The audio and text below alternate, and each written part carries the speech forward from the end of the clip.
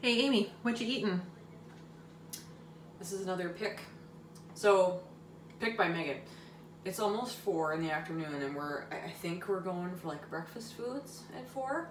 So this is ambrosia Devon custard, creamy and delicious. Now, did you say that this was not in the refrigerated section? It was not in the refrigerated Section. So this is section. not refrigerated. Just to t- just, I think that's weird because I would think that this would be refrigerated. Tastes delicious, hot or cold. Um, that's about all the interesting facts on here. That's about it. Oh. Oh. It's very yellow.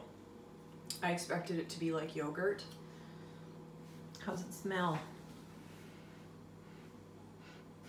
It smells like, oh, I'm gonna have a problem with this.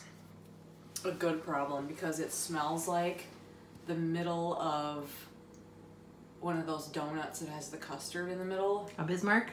I will commit crimes to get one of those, and that's what exactly what this tastes like. It's very, it's very thick. Oh, that's good. It tastes just like the middle of a Bismarck, that like custard in the middle, but it's not as thick, it's not as sugary. I'm gonna eat this whole container. The whole thing. This was awesome. Good job, Meg.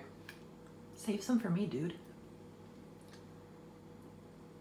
No guarantee. Thumbs up.